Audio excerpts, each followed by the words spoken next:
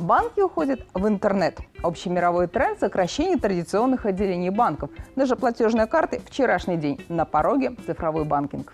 Справка. Цифровой банкинг – комплекс технологий, благодаря которым банки и клиенты могут взаимодействовать дистанционно по электронным каналам, например, через интернет-банкинг, мобильное устройство, сайты или социальные сети.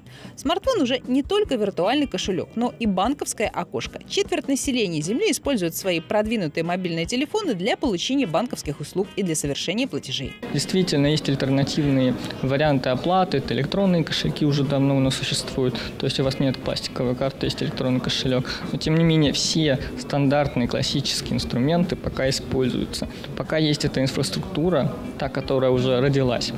Пока новая, она только начинает э, набирать обороты. И я думаю, что в ближайшие там, 5-10 лет, да, это произойдет. В стороне не остаемся и мы. Национальный банк одобрил стратегию развития цифрового банкинга на ближайшие пять лет.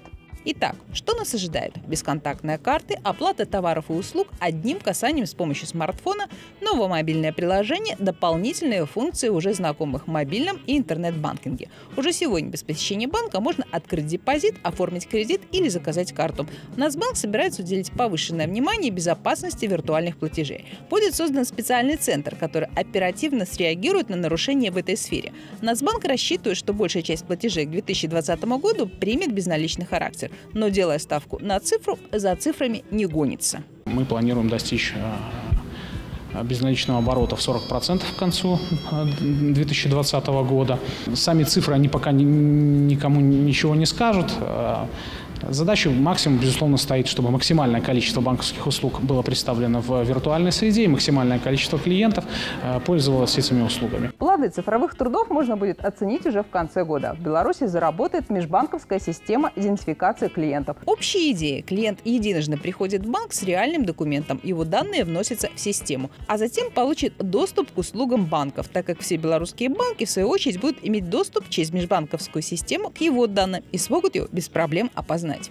Эта система будет особенно удобна для жителей регионов, ведь для получения нужной услуги или сервиса неважно будет, есть в вашем городке отделение банка или нет. Главное, чтобы был интернет.